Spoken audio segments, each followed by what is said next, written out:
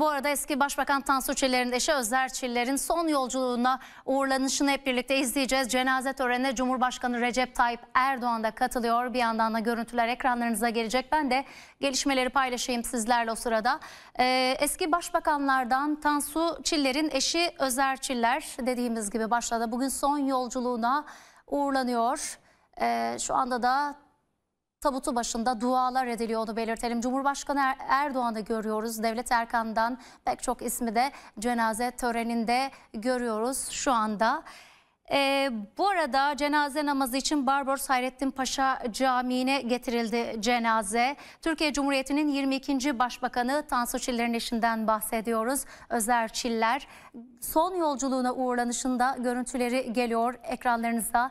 Geçen cumartesi günü sabaha karşı geçirdiği kalp krizi sonucu yaşamını yitirmişti Özer Çiller. Levent'teki Barbaros Hayrettin Paşa Camii'nde kılınacak öğle namazının ardından toprağa verileceğini belirtelim.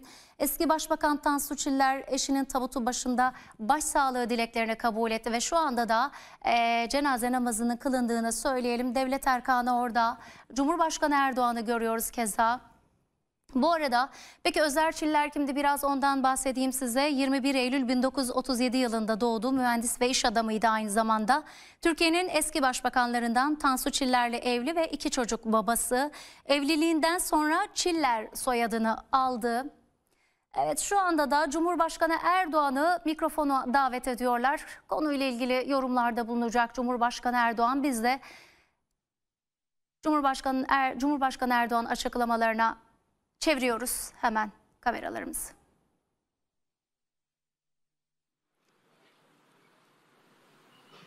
Gerek beyefendiler, gerek hanımefendiler şu anda musallada bulunan Özer kardeşimizin geçmişinden bu yana özellikle ekonomi alanında ciddi manada ülkede hizmetleri olan bir kardeşimizdi.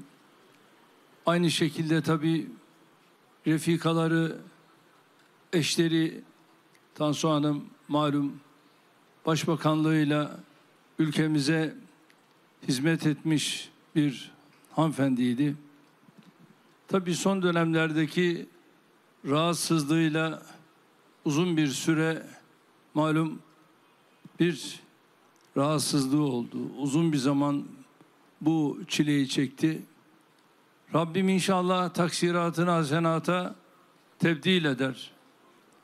Rabbim taksiratını hasenata tebdil ile inşallah makamlarını âli eder.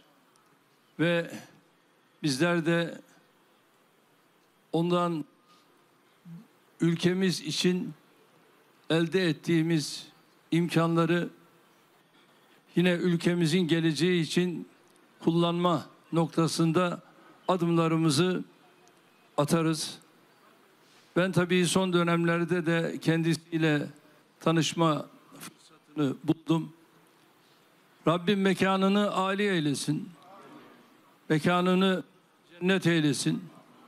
Ve tüm tanıyanlarına, eşlerine, dostlarına sabırlar diliyorum. Ve şimdi buradan tabii uğurlarken hep beraber yine bir Fatiha'da biz gönderelim. Ruhları için El Fatiha.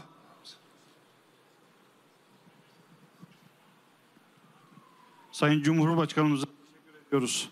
Sağ olun efendim. Evet şu anda e, Cumhurbaşkanı Erdoğan'ın konuşmalarını hep birlikte izledik. E, ve cenazede şu anda omuzlara alınacak ve son yolculuğuna artık uğurlanacak efendim. Cenaze töreninin ardından Özer Çiller, e, Özer Çiller'in cansız bedeni Kilyos mezarlığında toprağa verilecek. Cumhurbaşkanı Erdoğan da en önde saf tutarken görüyoruz omuzunda e, cenazenin naaşını görüyoruz daha doğrusu. Evet artık Tansu Çiller eşi Özer Çiller'e veda ediyor. Türkiye'nin 22. başbakanıydı Tansu Çiller.